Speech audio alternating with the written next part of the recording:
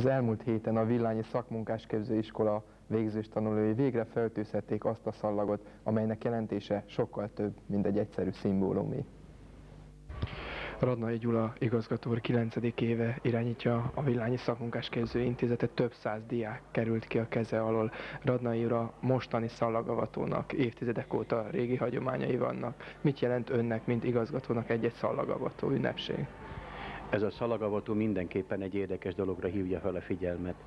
Egyrészt minden év azt jelenti, hogy egy-egy újabb társaság kerül ki a kezünk alól, annak a reményében, hogy egy újabb társaság hozzánk is jön.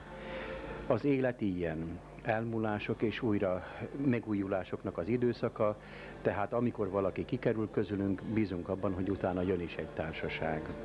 A szallag való jel, jelkép is azok diákoknak, akik ezt hordják, viselik. Nekik mit jelent ez a jelkép? Valahol azt, hogy hamarosan vizsgát kell tenni, ők is az élet küszöbére lépnek, úgymond. Pontosan milyen érzés lehet ez számukra? Igen. Én úgy gondolom, hogy az a két évszám, amely bármely szalagavatón, a kis szalagon szerepel, két dologra hívja fel a figyelmet. A kezdésre, ha az idei évet veszem, akkor az 1993 év arra hívja fel a figyelmet, hogy valamikor ezelőtt három évvel elkezdték nálunk a tanulmányaikat, és lám milyen rövid az idő, elszaladt, most már a véghez értek. Az 1996-os évszám pedig azt jelzi, hogy uram, bocsá, itt van a tanulmányi idejüknek a záró korszaka, végső soron egy olyan időszak, amikor tanulmányaikat villányban befejezik. Én úgy gondolom, ez nem csak a mostani végzősökre, hanem minden végzősre vonatkozik, természetesen évszám különbségével. Évvége közeleg, hamarosan tényleg vizsgát tesznek a diákok. Vajon milyen jövő vár rájuk? Hányan tudnak tovább tanulni, és hányan csöppennek be idézőjelbe a nagybetűs életbe? Igen, mi a tanulóinkat úgy engedjük el, sajnos az élet zord oldala vár rájuk, nem tudunk egyrészt őnekik munkát szerezni, másrészt ígérni sem tudjuk, hogy munkát szerzünk őnekik. Ezért azzal a Teleki Zsigmond iskolánk névadójának a szellemi hagyományaival indítjuk útra a tanulóinkat, hogy mindig keressék az újat, a probléma megoldását keressék. Teleki Zsigmond ezt megtalálta, bízunk benne, hogy tanulóink többsége szintén meg fogja találni. Előre láthatólag nyár közepére hányan távoznak az iskolából, azaz hányan végeznek? Hát most négy osztályunk végez, hogyha csak 25-ös létszámot veszek alapul, akkor ez szá, mintegy száz tanulónak a kibocsátását jelenti. Természetesen ez a szám nem pontos, ez lehet 90, lehet 110 is.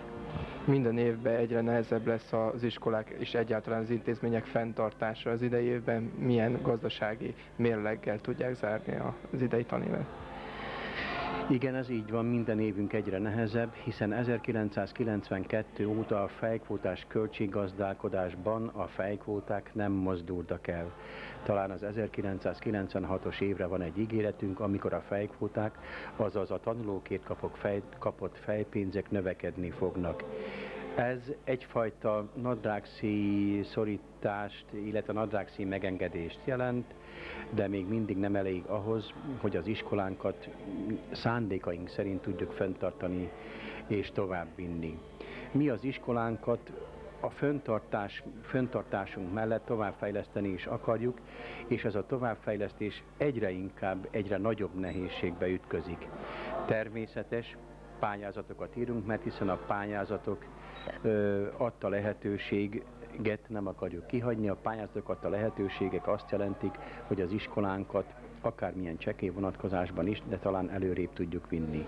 Most a borász szakmánk áll egy olyan fejlesztés előtt, pályázatot másfél milliósat nyertünk, az önkormányzatunk is nyert számunkra egy másfél milliós pályázatot, ennek kapcsán tanpincénket egyre inkább olyan helyzetbe tudjuk hozni, amivel ha nem is dicsekedni, de szerény körülmények között bemutatni tudjuk. Sajnos egyre több szakma kivész a palettáról, alább hagynak a szakmák iránti érdeklődések a, mind a diákok részéről, mind egyáltalán a szülők nem igazán szakma irányulag próbálják beiskolázni gyermekeiket. Fenyegeti valamilyen féle veszély a világba oktatásra kerülő szakokat? Nálunk két szakmacsoport van, az élelmiszeripari szakmacsoport és a kertész szakmacsoport. A kertész szakmacsoportunk nagy veszélyben van. A kertész szakmacsoportnál tudomásul kell venni, hogy az üvegházat, a fóliát fűteni kell, ezeknek a költsége horribilis. Sajnos van olyan hírünk is, hogy Hollandiában is az üvegházakat szinte hektár számra számolják föl, a hollandok sem Hollandiában termelik a, a kertészeti termékeiket, hanem inkább valahol egy harmadik világban, mert ott a munkaerő olcsóbb, mert ott a költségek is kevesebbet jelentenek. El kell gondolkodnunk, hogy ezt a szakmacsoportot hogyan vigyük tovább. Villányban vagyunk egy történelmi borvidéken, ahol bennünket úgy érzem elsősorban a meglévő lehetőségeink késztetnek arra, hogy a kerti szakmacsoportunk mellett inkább a borászatunkat, az élelmiszeripari szakmacsoportot vigyük tovább. Ebben az évben, hál' Istennek a sör főzdével kötött újabb szerződésünk kapcsán olyan helyzetbe kerültünk, ismét vehetünk fel első éveseket. Ez a létszám nem nagy. Mindösszesen 10-12 főt vehetünk fel, de ez egyúttal azt is jelzi, hogy az élelmiszeripari szakmacsoportunk élni fog tovább, a kertész szakmacsoportunk kal szemben talán némi előnyhöz jut, de mi arról sem akarunk lemondani. Mégis a mostani beszélgetésünk egy lazább hangvételű, hiszen egy szuszonyatnyi idő ez a diákoknak is a szallagavató, hogy felkészüljenek az utolsó nagy hajtásra, a vizsgák előtti nagy erőbedobásra. Igazgató úr, kívánom, hogy legyen önöknek is erejük ezt végigvinni a tanári kar részéről, és a diákok is egy olyan sikeres vizsgán legyenek túl, amivel tényleg az életbe bele tudnak cseppenni. Nagyon szépen köszönjük, és ehhez a kívánathoz próbáljuk magunkat tartani is.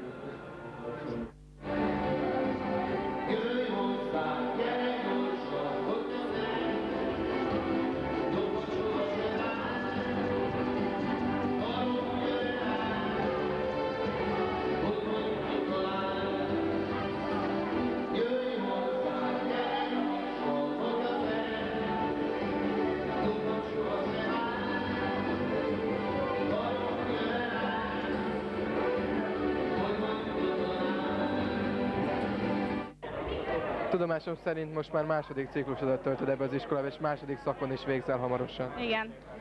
Pontosan milyen szakon? Szőlős termesztőként végeztem, és most pedig dísznövénykertészként járok itt. Amint ezzel a szakkal végeztél, gondolom el akarsz helyezkedni, és végre tényleg a nagybetűs életben tevékenykedni. Hát mondjuk nekünk otthon családi vállalkozásba tudok elhelyezkedni, de reménykedek benne, hogy sikerülni fog.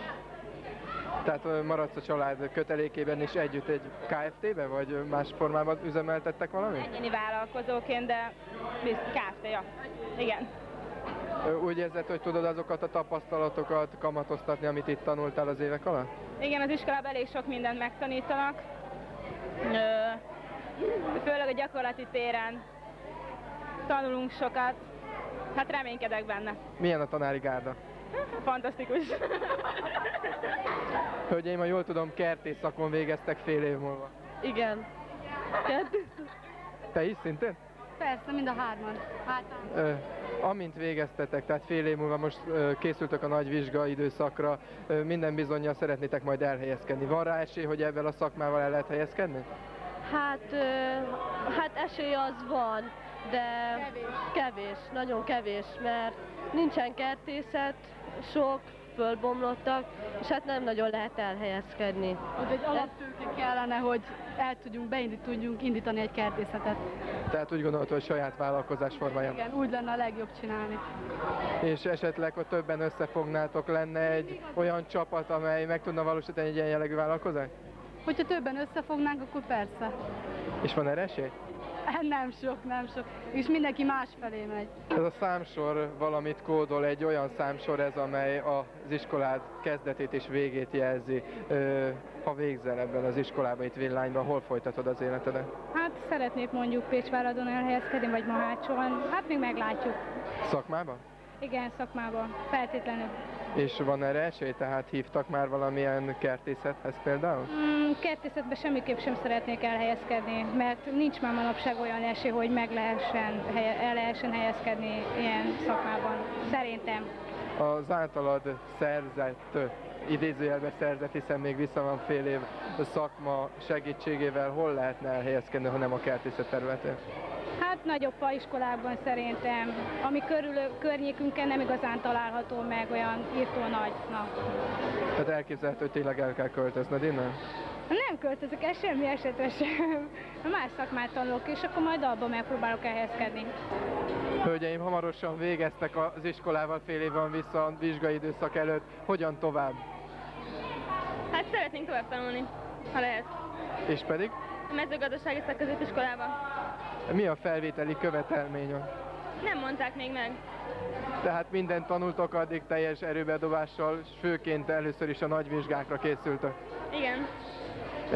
Milyen tantárgyakat tanultok? Szakmai tantárgyakra gondolsz? Dísznövény, gazdaságtan, kertépítés. Mi van még? Virágkötészet. Ha netán a saját szakmátokban nem tudtok elhelyezkedni, akkor esetleg más szakmát választotok, vagy megpróbáltok mégiscsak valahol elhelyezkedni? Hát talán megpróbálunk mindent, amit lehet.